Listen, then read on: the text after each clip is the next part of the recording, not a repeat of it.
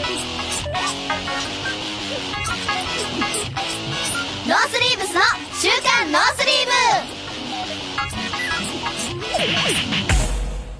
ノースリーブスの高橋みなみです。峯岸みなみです。小嶋陽菜です。では早速このコーナーに行きましょう。ノースリーブの掟はい。ノースリーブの規則、ノースリーブスの鉄の掟を2択で決めていくコーナーです。意見が割れた時は多数決になるのでしっかり説得してください。はい。はい。それでは、行きたいと思います。お願いします。ラジオネーム、僕んち冷蔵庫さんからいただきました。あありがとうございます。女子にモテるために始めた方がいいのは、DJ とサーフィン、どっちですか？おっと。どっちもモテそう、確かに。まあ、モテますね。うんこれは難しいね。モテるためか。決まりました。決まった。はいはい。それでは、DJ がいいという方。はい。うん。ぽいぽいぽいぽい。え、ぽいぽい感じになったぽいね。そうそうサーフィン。はーい。ええでも、際どかって。迷う？迷う。うん。なんか、個人的に音楽が好きだから DJ って言ってみたけど、うん。なんか多分さ、女の子の質が違うよね、多分。あー。寄ってくるそうな女の子の質がそうかなあーなんか違う感じするわ。ジャンルね。うん、ジャンルが違う。あじゃあなんかモテ方も違う。え、例えば？なんか真剣な恋をお求めの方はサーフィンの方がいい気がする。え？何？ね DJ って何？そんな軽々なの？あ。え、なんか DJ の方が女の子寄ってきそうで、なんかまあ信用できない気がする。そういうクラブとか、私たちにはわからない、あれだけど。ね。DJ 家でもできるって。家に呼べるよ。じゃああ DJ を？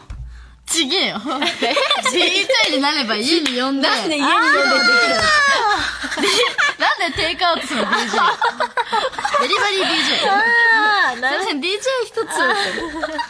ああ、そっか。え、これどういうことどっち、どっち目線だから、どっちに、男の子としてはどっちをやったらモテますかとか女目線で聞きたいんだ。あ、でも、でももし自分がう、ん。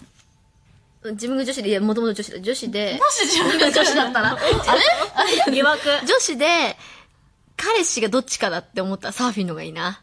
でしょ？彼の趣味は何って言われた時何が一番いい、なんか一番こう。え、ふた二択じゃなくていいの？うん。何が素敵？なんだろうな。なんかさ、うちの彼氏 DJ なんだよねって言ったら、だからチャラそうじうん。確かになんか、え、仕事は？って思っちゃう。ゃん。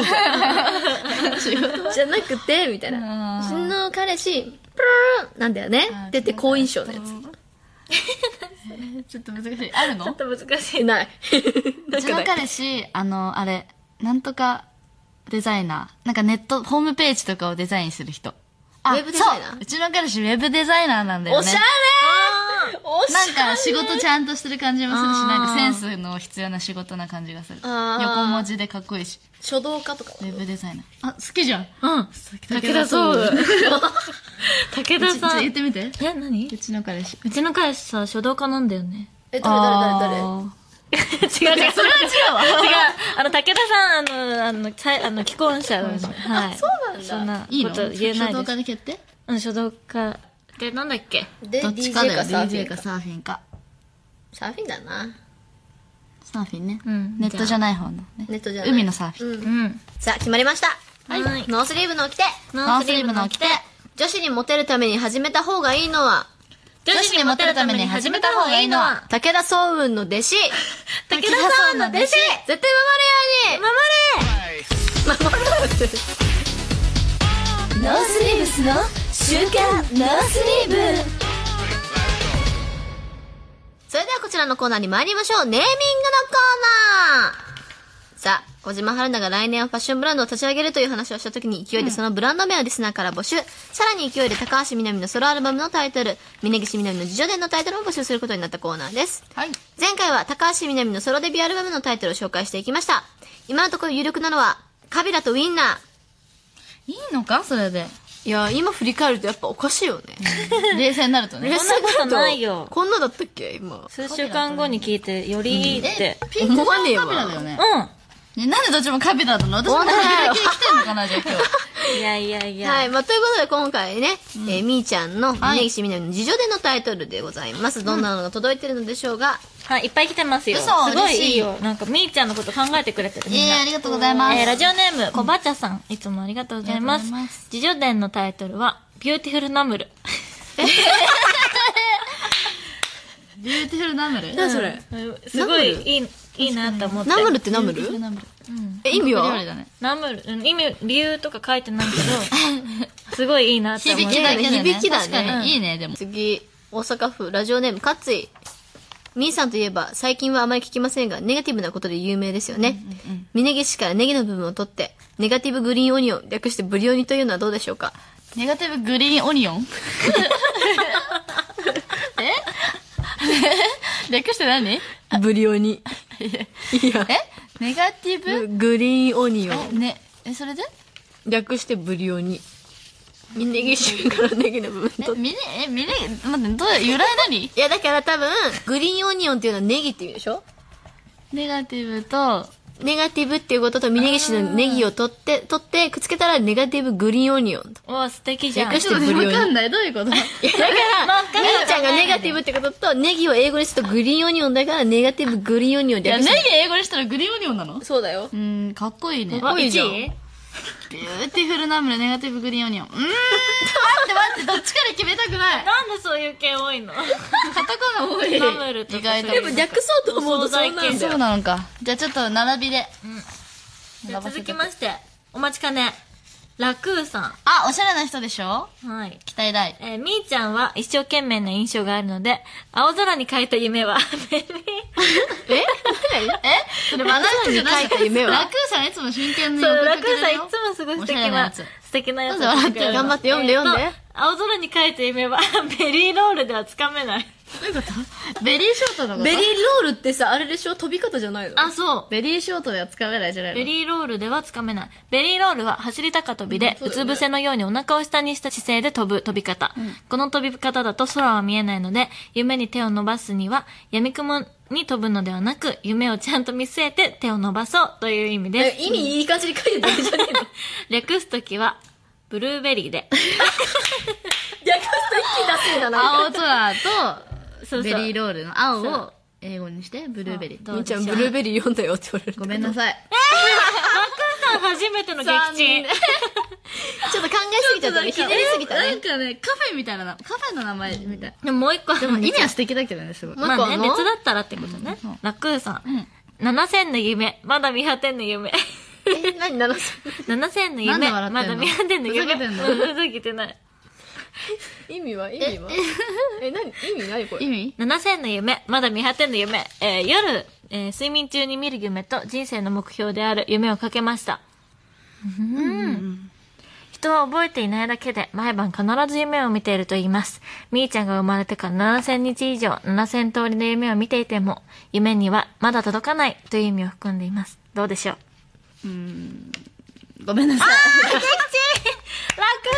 初めて嬉しいんですけ激どね気持ちはそんなに真剣に考えてるリスナーいないと思うからうん確かに一生懸命だよ。いろないんかそのろ多分ね。真剣がまた違う方向に向いちゃってる感じはある今のみーちゃんの気持ちとはそうかもしれないでも取っておきたいいつかのためにあ、じゃあ取っときます。もう、こっからカビラタイム。スーパーカビラタイムこっからスーパーカビラタイムになっちゃいます。はいえー、コンワッシューさんからいただきました。自叙伝のタイトルは、ジョン・カビラ、兄ちゃんの話、 written by 慈英。どうでしょう？え、まあね、どうどう、どうでしょうじゃなくて何それ？これはですね、兄弟愛が綴られているお話だそうです。あれ？どうですかね？え？兄弟愛の話。えうんやべ、全くハマってねえじゃん、みーちゃんに。ね今日はハマんないラジエがえー、面白い？今うんなまあちょっと調子に乗ってる感じはあるけあと、どねコマ。ーションもう一個来てるよ。自叙伝タイトル案。自叙伝出してもいいんです。もうそうなってくるともうその人の事情なんだよねまだあります。ラジオネーム、エンさん。うんえー、自叙伝のタイトル考えました。カビラに誓ってガチです。略してカビガチです。さカメラに違ってカビがちあ、はい。なんでカメラに近っちゃったんだよ。どうしようさあ、出揃えました。カビラコレクションの中ではこっちはカビがちだよねカビガチが勝った。これにしカビがちにするとしたら、その帯で80円出してもいいですって。ああ、いいね、見えてきたね。え、でさ、これ、それがさ、あの、売れたら、このジョン・カビラ兄ちゃんの、私、リットンバ GA を映画化したらいいかな。すげえ私関係あるの？うん。もう3つ採用で、そしたすら。ごいね。なあ、そっか。まあどうしますか？カビラ祭りですね。暫定。1位は？今日のところは、今までの流れもあって、うん高見の春菜との関連性もあるとノースリーブスファンは喜ぶと思うので。はい。うん。カビラに誓ってガチですえーカビがち。カビがち。カビがちどうかいう話なの？どういう話、うんだから、多分自分を包み隠さず書けばいいいいわけでしょ、うん。ガチねガチですよっていう。カビラさんに誓ってガチですよって、カビラさんに帯を書いてもらうと。あなるほそういうど。構想までは見えました。3週目どうする？カビラさんで出揃いましたけど。ねえ、でもみんなしないでしょ うん。うん。しないね。しない。なしか。次進む？新しいステージま進む？た行きますか。?3 週目はガチで？次で決める？いや、でもさ、チャンピオン大会みたいにしようよ。え？何？カビラさん。カビラ、カビラ大会なの？こ れ何？何自分の中の3つ出てるでしょ？うんその中でまた決めたりしたらいいじゃん。あーなるほどねだからまあ、これからも続じゃあ、けようよ。3週目は、ちょっとなんかその、カビラにしなきゃなみたいな空気なし。なしね。本当に、本当にこれ今回もそうだったんだけどカビラじゃあ今週で終わりか。うん。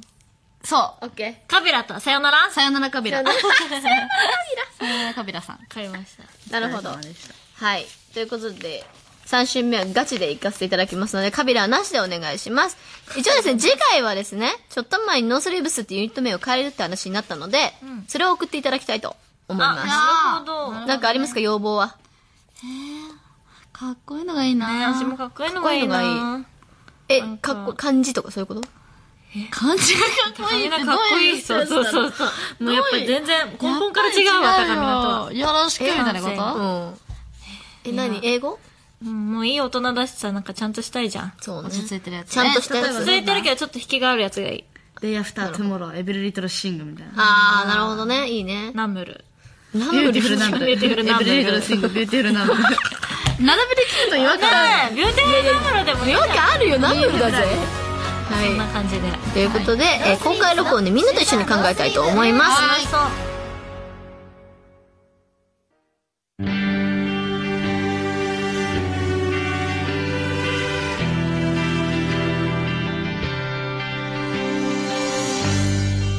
ノースリーブスの週間ノースリーブ、そろそろお別れの時間となりました。はい、来週はハイパースペシャルウィーク。ここでは言えないくらいとんでもない曲を用意しています。おぜひ聴いてください。とんでもない数の大人が動いているとかいないとか。さあ、一体どうなってるんでしょう？楽しみ。さて、番組ではラジオの前のあなたからのメールをお待ちしています。ノースリーブスの新しいユニット名のアイディア、ノースリーブの掟、小島陽菜の喋りましょうシーズン2のテーマ、質問や番組の感想なども待っています。何でもいいので番組の携帯サイト裏側のセーブをチェックしてみてください。そしてこの後深夜1時からは AKB48 のオールナイトニッポン。なんと今週は板野友美卒業スペシャ私たちも出るのかな？私たちも。ルかな？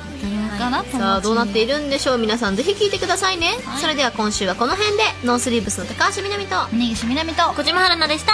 バーイ。出るんですか？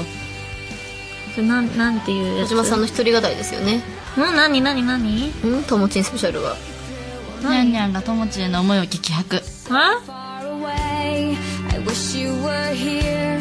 Before it's too late, this could all disappear. Before the doors close and it comes to an end.